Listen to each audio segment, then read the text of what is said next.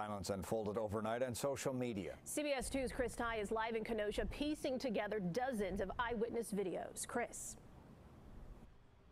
Brad Irika stitched together those dozens of online videos and a narrative begins to emerge.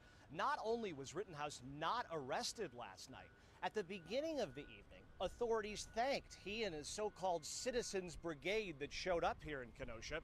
And at the end of the night, he was able to walk right out of the Kenosha hot zone. We appreciate you guys, we really do. Before there were bullets in the air, in this pocket of Kenosha at least, there were attaboys for the so called Citizens Brigade. Hey, thank you guys, man. Need water? Seriously. Guys, far right, you need water. We'll throw you one. With that, the crew, some armed with long guns, took on the night.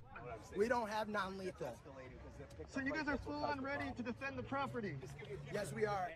They don't have badges, but seem to have tacit approval from the same sheriff's officials telling others You are a civilian, this area is closed to them, you're trespassing,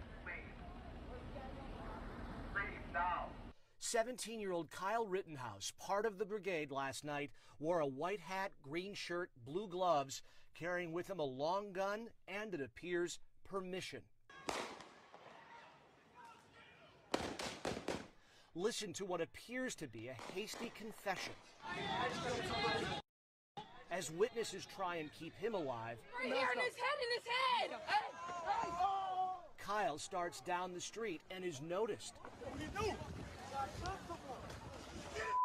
He's taken to the ground, then fires his weapon at attackers. Another person appears shot by his long gun. This time, police attend to the injured. Kyle keeps walking, inching toward authorities at the end of the block as onlookers flag him to police. Hey, he just shot them! Hey, dude right here just shot them! Dude right here just shot all them down there! With blue gloved hands in the air, the gun around his chest, the brigade member thanked at the start of the night is given safe passage past police. Not stopped and cuffed, but allowed to exit with only this warning.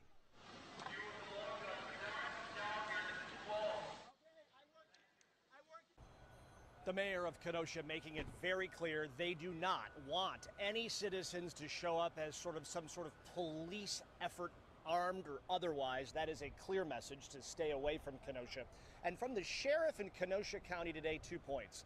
He said, number one, the fact that we gave water to that group should not imply that we were giving them tacit permission. We've given water to a lot of different groups. And two, if there was any indication that Rittenhouse, with his hands up there, was trying to turn himself in, he says his deputies didn't realize it. In Kenosha, Chris Tye, CBS 2 News.